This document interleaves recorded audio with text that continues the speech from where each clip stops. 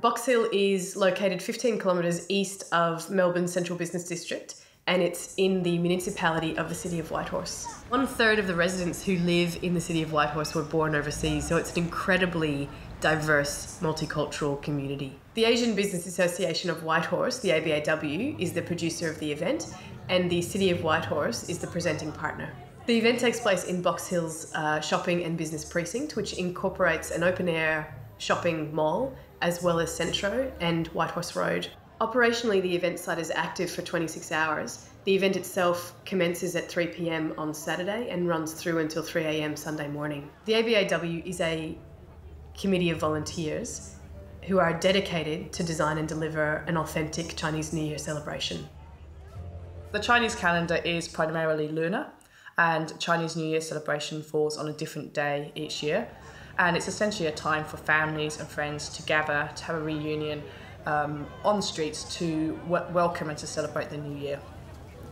It's an amazing festival to be to be part of and to watch sort of roll out and come live because it really does attract a, an amazing amount of attendees um, and to watch the way that the organising committee uh, work together to support each other, to support the local businesses, to support the stallholders and the performers um, in this incredibly uh, chaotic almost site of, of people in a space that is quite small. It is, is fantastic to see the support mechanisms that, that come into play. One of the things that we've worked on with the Asia Business Association over the last 18 months has been um, a remodelling of the event.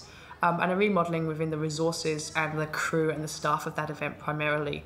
So we originally looked at the site plan, we originally looked at the at the event plan and the event process. And this year we've worked very much with the individuals and the people within that plan and that process.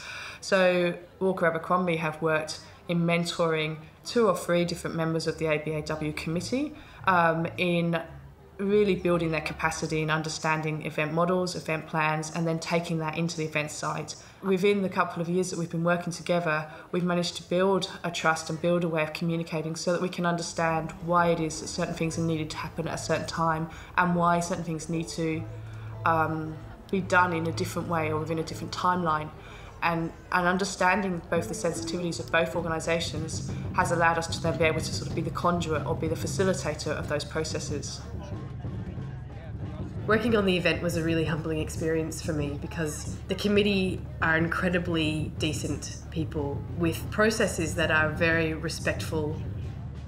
For me, like the first year that we worked on it, to actually be in the middle of the firecracker New Year celebration, it was an amazing privilege to be there. Great to be able to be part of that. It's great to be able to support the Asian Business Association and to work with the City of Whitehorse to facilitate such a genuine community celebration and it, you know, it's fantastic that we can offer something and facilitate something along that process to be able to support them. Recognizing the coming of a new year and the hope that comes with that, there's a shared emotional journey that everyone seems to experience.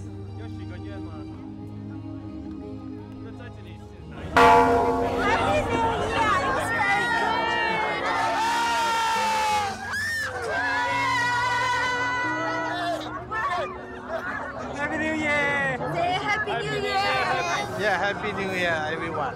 Happy New Year. Happy New Year. Yeah, Happy New Year. Happy New Year. 新年快乐。